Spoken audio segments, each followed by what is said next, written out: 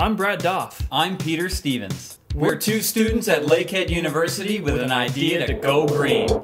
Our campus is growing and facing the same problems as a city.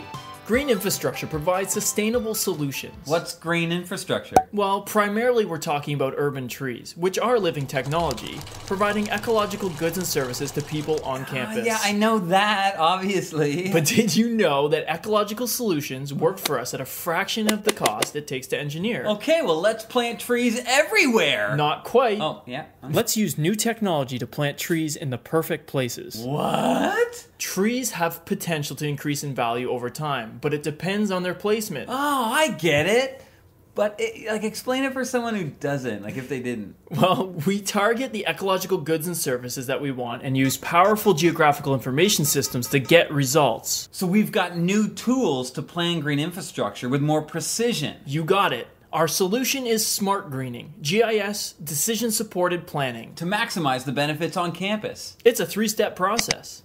Identify the sustainability challenges. Connect them to the benefits of an urban forest. Implement them using GIS. First, we spoke with our local experts. The physical plant and LUFA's Physical Environment Committee, who provide direction in managing the campus. There are a host of sustainability issues facing our little city An increase in impervious surfaces. heating and cooling inefficiencies, Aging infrastructure. urban heat. Aesthetic value and healthy social space. Second, we can identify the benefits from the valuable research of urban forest scholars.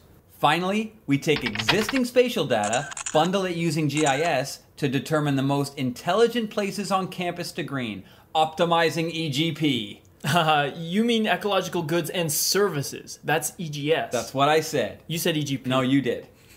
Let's see how smart greening responds to two of Lakehead's biggest challenges. First up, stormwater. Impervious surfaces like this paved parking lot cause a high volume of rain runoff. It collects non point source pollution like oil, gas, antifreeze, and pesticides, dumping it into the McIntyre with disastrous results. Cities often use enormous stormwater infrastructure to manage this Well, problem. why use expensive gray infrastructure when you can go green? Well placed trees create a canopy cover, capturing rain and slowing runoff. And rain gardens remove pollutants, reducing peak discharge, and even help recharge the ground supply if they're intelligently planned. Problem 2 Managing the microclimate. Let's talk energy efficiency. Yeah. In the summer, cities are too hot. Buildings radiate heat, amplifying smog. In the winter, it gets cold in Thunder Bay, where northwest winds strip the heat from buildings. Climate control is costly. With smart greening, specifically along the Braun ATAC corridor and next to the Ryan and Bora Laskin buildings, we're talking serious savings. In the summer, trees cool the core, reducing the impact of the urban heat island, prolonging building lifespans.